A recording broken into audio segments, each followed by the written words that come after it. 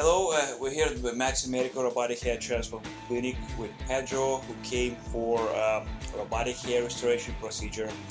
It's a day number one. We typically split it into two days. It takes about two hours.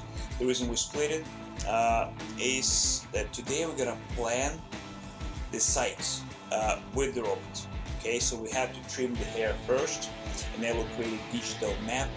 The robot will see every single hair follicle already existing on the scalp and will prevent any injury while making those sites. And I want to uh, thank Pedro for his willingness to give us a little interview, right? Of course. Okay. Yeah. So could you tell me what brought you in here and a little story about your hair loss and Well, I started losing hair when I was probably 16.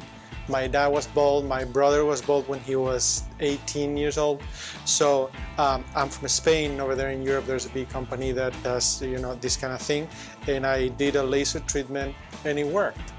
But after uh, almost 20 years now, I've been noticing that my hair has been thinning, and you know I've been losing more and more.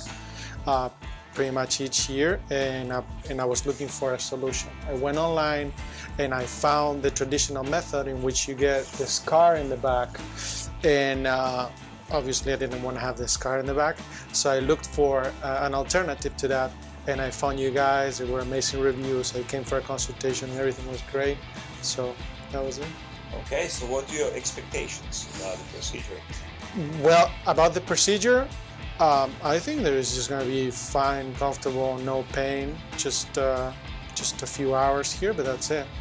You just mentioned your father-in-law just had your procedure with us, right? Right. weeks ago. You're right. Two weeks ago, he did great. He's doing great. Uh, all all the grafts are you know already gone, and um, he's healing great, doing great.